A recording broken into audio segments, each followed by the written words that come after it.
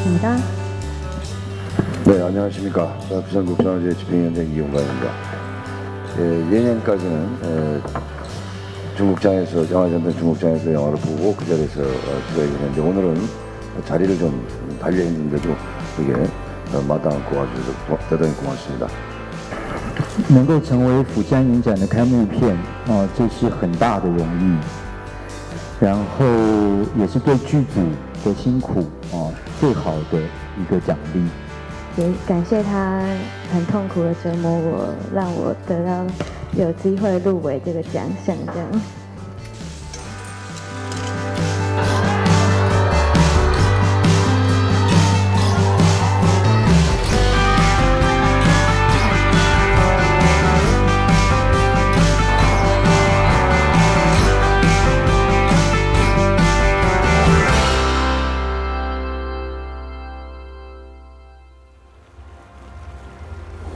제19회 부산국제영화제의 개막을 선언합니다.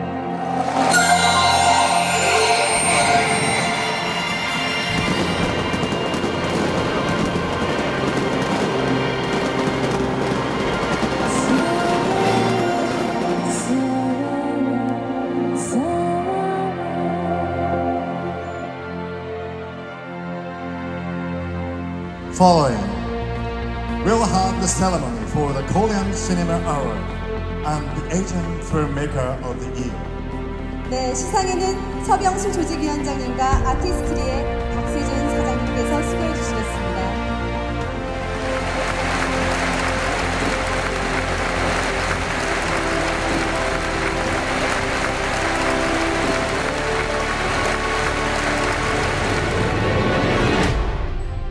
1960년대와 70년대에 걸치는 어, 대만의 어, 군대 내의 에, 공창을 중심으로 벌어지는 사랑과 우정 그리고 이산 가족의 아픔 어, 그 여러 가지를 다루면서 뛰어난 연출력으로 우리에게 에, 감동을 선사하는 작품입니다.